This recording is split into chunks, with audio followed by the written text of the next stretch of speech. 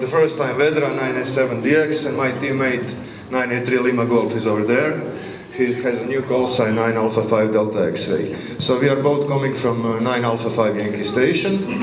Uh, the most, what we do is contesting, but we are also running DXCC, again, working with youth, IOSA, on the pro- programs. We have a 50 years long history, and this is my teammate, so 30, 40 years ago. Uh, a little bit about uh, last WRTC. That was the first time for us. Uh, I didn't man- manage to qualify, so I get the wild card thanks to Dave and DL5 Alpha X-ray X-ray who invite me. That was the first time for us. Uh, we finished at ninth place. We get have a good call sign, and conclusion is that we could definitely do better and to try to qualify for the next WRTC. So here is qualification this time. This time was lots easier because there was a rule one, one man per DXCC and there was three DXCC in our region so it wasn't too hard for me or either for my teammate to qualify as a teammate. The best contest for me was Russian DX contest when I won the both times, Workall Europe CW and IARU. The bad ones are DX contest and sidebands because we don't have a big signal it's easier to work on CW. For the teammates, he works some WPXs, all Asians, RRLs, and some multi-single. So preparation and planning, uh, first things that we should do is de define the setup. We was planning the easiest way, the most simplest we can do, and we did that. Uh, we want to test everything to make a backup and get some training, but we didn't do that. So this is the setup. It looking looks complicated, but it's pretty easy. Triplexer, uh, low power bandpass filters, antenna switch, two FT1000 connected via band decoders, antenna tuner there was only one, no second, and Ethernet switch and some other stuff. The simple as it can be. One addition is AirSpy HF Plus because of the panadapters FT1000 MP doesn't have it and we was using AirSpy HF Plus, which is fantastic. So this was the first day, a month prior, and this was the day 20 weeks before. We set up everything, tested everything, and everything looked good, but it was, there was no any contest to, to practice or something. And finally, uh, travel, it was easy for us, only seven hours or so. Uh, warm welcome at Castello Hotel. When we came, we feel like home. There was a lot of Balkan guys, Brako, Dave, at the, at the Zashankom, at the bar, and they ask us, they just give us the, the beer when we go through the door. It was cool. Some good malls too. We, I saw Echo 2 Alpha, Zulu Lima, and some other guys. It was interesting. And then was uh, one or two days that nothing happened except the socializing, so chilling and waiting. And the first real things was driving referee and driving sites. Uh, referee was Lou, who is originally Cuban guy but lives in the Florida, Whiskey for Lima Tango. And four the site we get, I don't know reference, but it wasn't too good. So this is the first site. When we came, we see the antenna between exactly two buildings. And one building is higher than antenna was on the north, maybe 15 meters away from the antenna. That was not the deal. And on the other side was this electricity. And QRN was terrible. I have a video, I don't know if it play. So you could see an S meter. Here is 10 meters. It's pretty much the same on 20, 15 and 10. If you're raining, no discure. What? If the rain, no discure. It could be. It could be because the Italians did test the the sites, but maybe it was after rain, so at that moment wasn't noise, and this was terrible. So here was uh, all kind of things in our heads. We had big plans for this contest, and here we couldn't do nothing. So we even thinking about the quitting. And uh, thanks to Lou, Whiskey for Lima Tango, who is passionate guy, he fight four us. He traveled with the car, go to Claudio I4 VEQ, show them the video, and ask for the second station.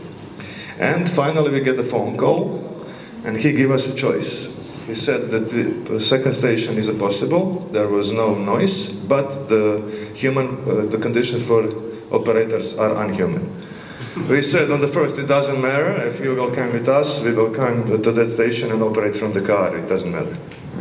So we go to the second site, which was just uh, 15 kilometers away. We pack the stuff and go there, I don't know, in 10 minutes maybe, all this stuff. We was driving like hell. And this is the second site. First impression is fantastic. Antenna is on the clear, there is no building around, especially to the north and to the west.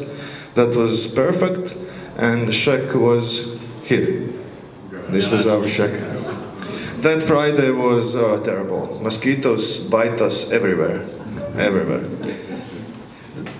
So uh, at, after three or four hours, we set the station, and everything was good. Yeah, we have the wind, the this hole and this hole, so there was wind in there, and it was fantastic.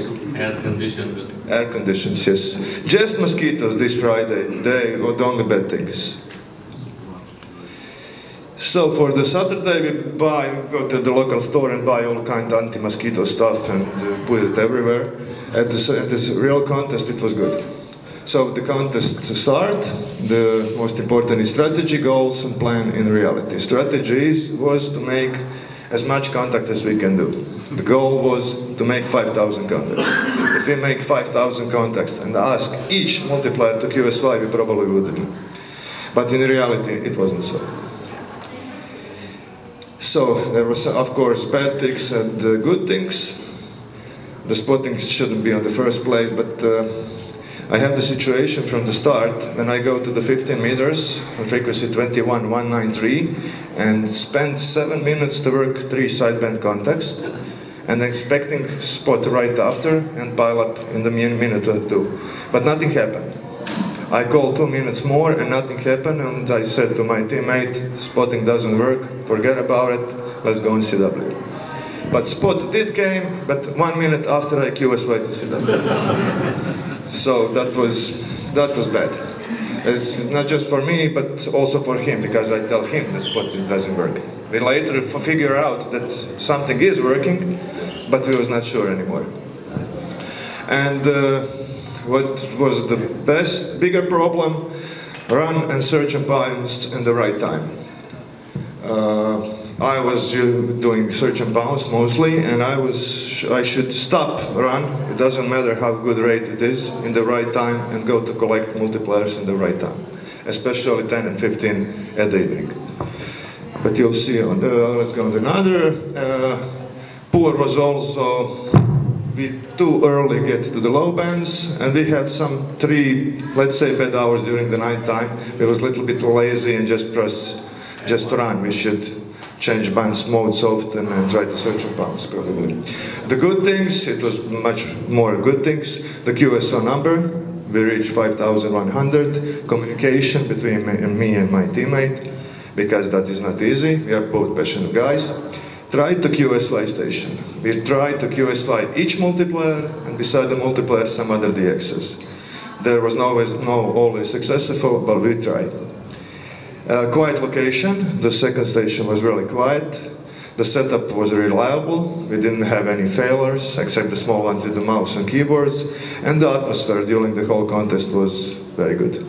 There was no tension like in Germany, yelling and so on. Uh, QSO by hour.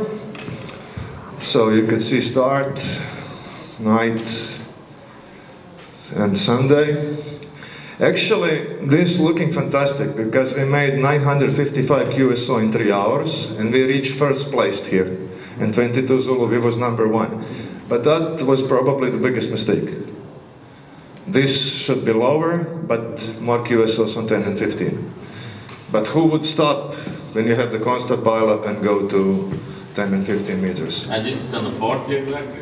What? This is on 40 meters? Yes, this was 20, 40 and 80. So you could see here, there is only a few hours when we were just on three bands. Mostly we were four, four bands in one hour or even five bands. So we change bands and modes quite often. When run is doesn't go anymore, they're slowing down, just change something. Change bands, there's the RBNs and then constant power. So it's better to see here rates. So that was those hours. The best for us, 390, 312 and 324. Which is great, but uh, we don't have the 10 meter contact in that time. There was lots of multipliers on 10 in that moment. This should be collected. No, but the propagation was very changeable. You need antenna on 10 meters to South America, but same time pile up on 20 from Europe on another way. Yes, That but- you have not coverage. But we should definitely sacrifice some Yeah. QSO for those multipliers because on 10 meters during the night time, evening time, we lost 10, 15 multipliers, same amount on 15, and we were 30 multipliers behind at Saturday. We could not compensate that on Sunday. A little bit about global activity.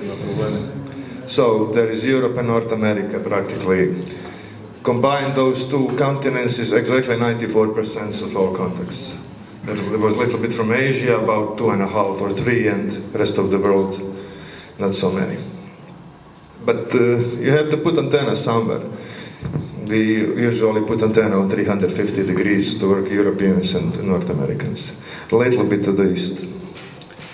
And after 24 hours, we did this.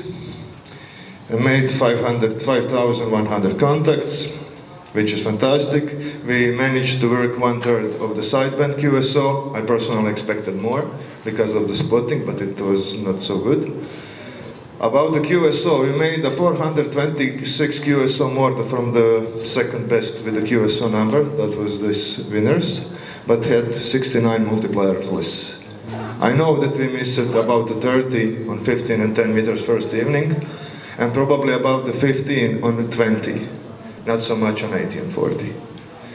And in total, we get position number three, which is best ever Balkan score, and we are very proud of it.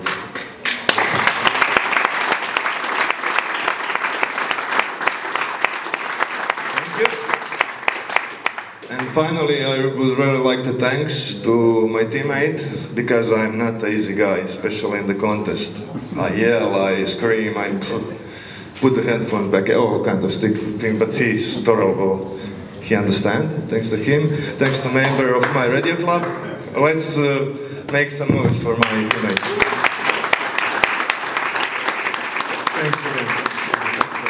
Uh, thanks to my members of our radio club because without we both, both don't have personal station because without support from my teammates I wouldn't be here.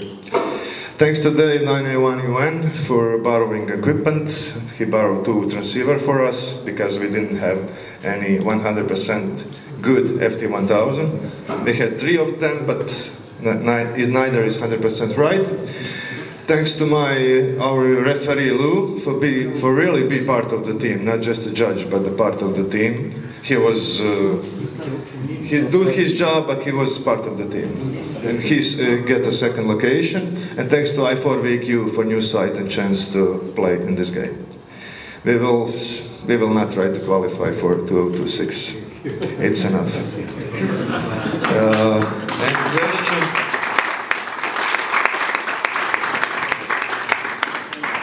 Ask whatever you want, or you can ask later. Koliko ste piva popili? Uh, I have one video for that. Uh, no beer, just some Red Bulls. I need a stick. But uh, we drink rakia, not beer, because if we drink beer, we we need to go to have the can under the table, or to go to pee, and we do it just one time. Here is 500. when we did 5,000 QSO.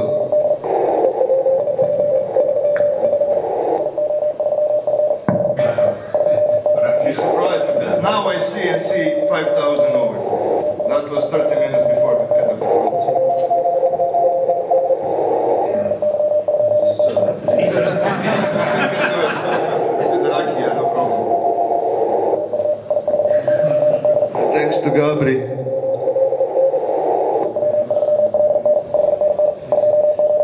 thanks to Gabri89 RGY who came visit us and make some really fantastic videos and photos. So that's the answer to you, Grako. No beer, just rakia. Ra- rakia power. So that's all from us. Thank you. Ja.